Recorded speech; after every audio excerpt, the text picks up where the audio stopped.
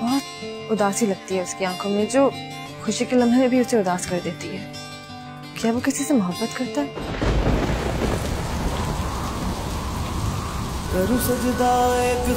मेरे लिए आपसे यूँ छुप कर तन्हाई में मिलने का गुनाह सारी उम्र मेरे वजूद को किसी आरी से काट देने के लिए काफ़ी।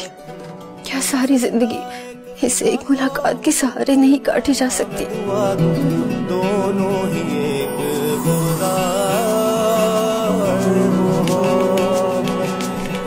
देखिए, खुदा और मोहब्बत, उनतीस अक्टूबर से हफ़्ते की रात आठ बजे, सिर्फ़ जियो पर।